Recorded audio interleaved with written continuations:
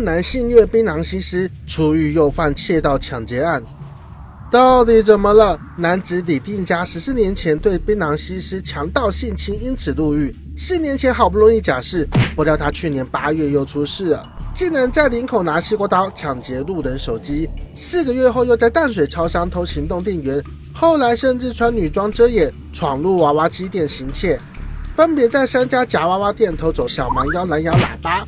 难道真是不知悔改？新北地院审理抢夺手机案时，认为他有两个小孩要养，负担沉重而误触法网，减刑轻判八月。至于后续事件窃案，市里地院判他其中一件拘役五十日，得一颗罚金；其余三件合并判一年，必须入监服刑。